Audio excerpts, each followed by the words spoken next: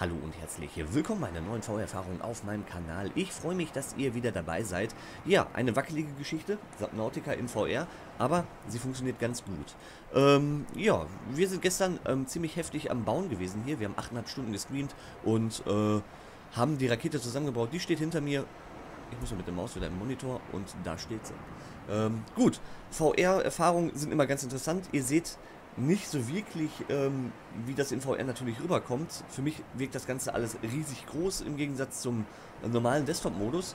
Ähm, jetzt habe ich ja noch nicht die Brille auf, aber gleich. Ähm, wir werden auf jeden Fall die Rakete mal starten. Wir gucken uns das Ganze mal an. Äh, die Steuerung ist ein bisschen kompliziert. Man muss mit Maus und Tastatur spielen. Wenn man die äh, Touch-Controller benutzt, dann kann man da oben leider in der Zeitkapsel keinen Text eingeben und man kann sozusagen die Rakete einfach nicht starten. Man kommt auch nicht wieder raus. Also das ist ein bisschen problematisch noch. Ähm, ganz so optimiert finde ich es noch nicht. Aber macht nichts. Äh, VR-Erfahrungen sind dafür da, um gemacht zu werden. Ich setze jetzt auf und verschmilze mit Subnautica. Ich habe auch diesmal eine ähm, Facecam, damit ihr mal seht, wie ich mich hier so, so rumdrehe. Okay, das sieht auch schon ganz cool aus. Boah, sieht echt riesig aus. Ähm, wie gesagt, man kann das mit dem Kopf steuern, das Laufen. Und man kann auch nach oben und nach unten gucken. Das geht mit der Maus jetzt aber nicht mehr. Ich kann aber auch mit der Maus drehen und mit WSD natürlich laufen. Kann auch springen, alles. Und ja, das ist die Rakete. Boah. Muss mal ein bisschen nachjustieren, so mit dem Drehen. Ein bisschen komisch. Wow, die Neptun. Ein riesiges Gerät. Also man hat wirklich das Gefühl, dass man winzig kleiner ist oder alles einfach viel, viel größer ist. Ne? Also das ist echt schön. So, Klettern geht natürlich auch, aber hier wie im alten Teil, in den alten Versionen, ähm, beamt man sich einfach nur. Das ist die fette Neptun. So, das sieht echt irre aus.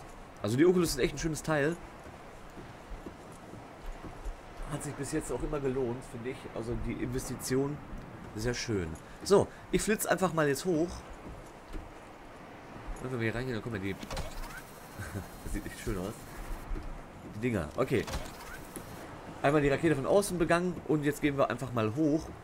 Ist ein bisschen komisch, wenn man läuft, aber nicht wirklich läuft. Ne? Das ist bei VR immer noch so ein Problem.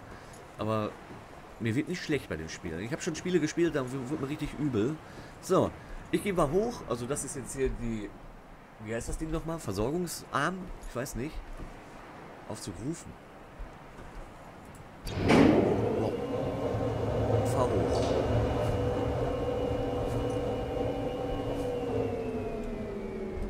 Ein schneller Aufzug. Wow. Jetzt hat man hier äh, ja keine Möglichkeit mehr. Man muss einfach in der Rakete rein, das war's. Und alles aktivieren. Und ich hoffe, dass die Tastatur funktioniert. Auch guck mal da unten. Ein U-Boot. Eine Rettungskapsel. Das stört so ein bisschen hier. Das kann man ja deaktivieren. So, ich gehe rein. Das dauert ja alles eine Zeit, bis die Rakete startklar ist. Bin mal gespannt, wie das in VR rüberkommt. Bupp, wir teleportieren uns durch Türen. VR ist halt ein bisschen schwieriger. So. Hilfsenergieeinheit. Auxiliary Power Unit online. So.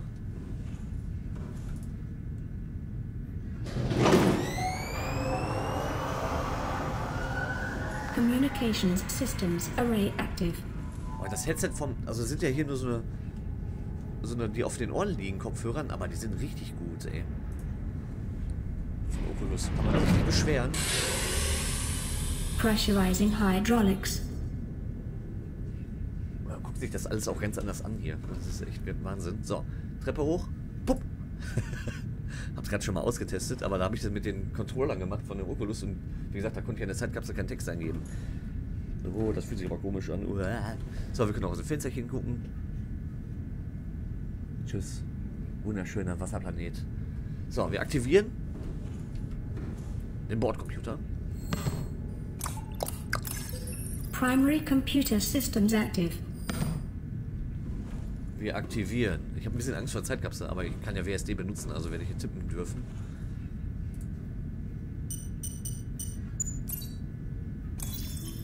Cool. Life Support Systems online. Okay, online. Das sieht echt geil aus, ey. So, jetzt die Zeitkapsel. Die machte mir so am meisten Sorgen gerade, aber das müsste jetzt tadellos klappen. So, dann Feuerlöscher und ach komm, wenn da einer findet, dann kriegt er erstmal einen fetten Ziegleiter. leer. Zurück. Da muss man mal hingucken. Man hat ja keine Mauszeiger. Titel. A. D. Ich habe kann, kann ja nicht lesen, die Tastatur. Ist ja ein bisschen blöd, ne? Okay. Äh, ja. Toll. Und raus. Time capsule ready. Also mit Tastatur und Maus geht das tadellos. Und wir sind eigentlich bereit für den Start. Das tut die ein bisschen auf meine Nase. All systems are go for liftoff. Oh. Okay. Wir starten. Machen wir gar keinen großen Hackmack, ne? Auf Wiedersehen, Planet. Auf Wiedersehen, Livepod. Auf ja, komm jetzt hör doch auf. Huh? Boah, ist das groß. Boah, das drehen. Ready to launch on your command, Captain. Launch in 10, 9, 8, 7, 6, 5, 4, 3, 2, 1.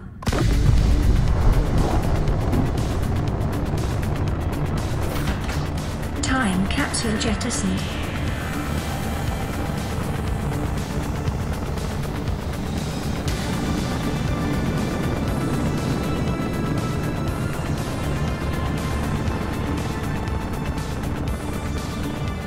Caution, approaching orbital debris field.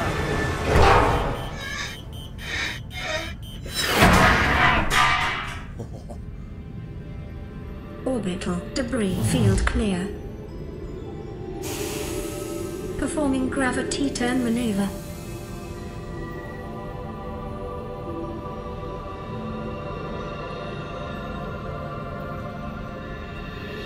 Confirm destination coordinates.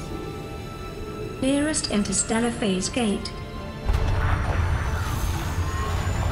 Engaging ion boosters in three, two, one.